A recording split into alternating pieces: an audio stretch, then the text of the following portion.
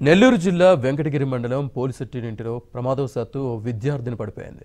గమనించిన స్థానికులు బాలికను కాపాడి ప్రభుత్వ ఆసుపత్రికి తరలించారు.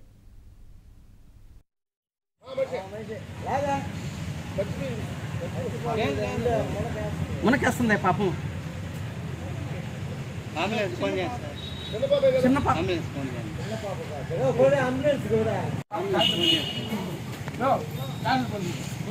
ఈ అర్థం కాలేదు. నెల్లూరు జిల్లా వెంకటగిరి మండలం పోలిసెట్టినింటిలో ప్రమాదవశాత్తు ఓ విద్యార్థిని పడిపోయింది. గమనించిన స్థానికులు బాలికను కాపాడి ప్రభుత్వ ఆసుపత్రికి తరలించారు.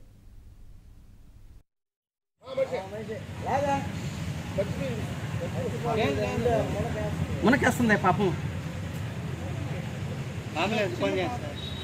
చిన్న పాప.